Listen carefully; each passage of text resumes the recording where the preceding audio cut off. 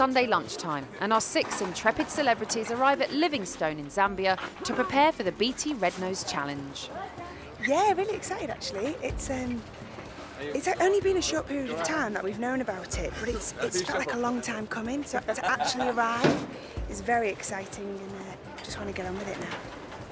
But after two flights from London, there's still a way to go. The challenge starting point is Sekoma Island, 100 kilometres away by truck and boat.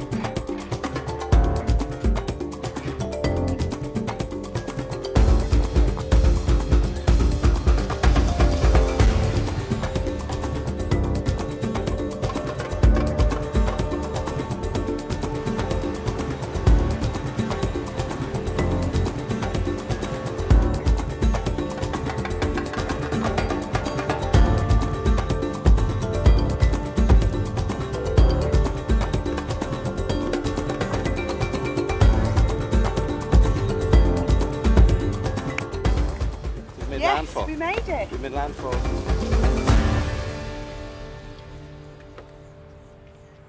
Hello, I'm Emma Willis, and we have just arrived at base camp in Zambia because tomorrow sees the start of the BT Red Nose Day Challenge.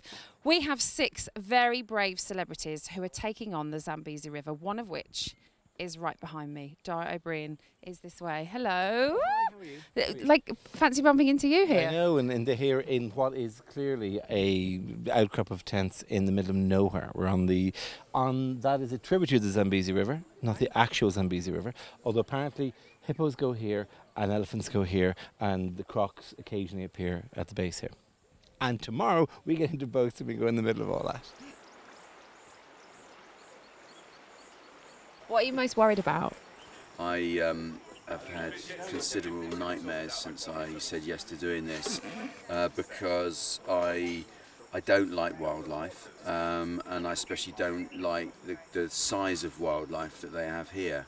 Um, and if, if I look at, for instance, uh, a crocodile, I, I, I would prefer if it was stuffed. And, and the ones here aren't because they move. And I, I, I, I have problems with that. Tonight is the team's last night of relative comfort before the challenge officially begins at 8am UK time tomorrow morning. Over the next five days, they will have to paddle over 100 kilometres back towards Victoria Falls through rapids and crocodile infested waters, and they'll be camping rough along the route. On day one, they'll set off in dugout canoes made from hollowed out tree trunks, and tomorrow night's campsite will be a lot less comfortable. So you can see the celebs behind us. Uh, they're having their briefing about all the dangers that are on the uh, Zambezi River. So let's hope they're paying attention because tomorrow is going to be a big day.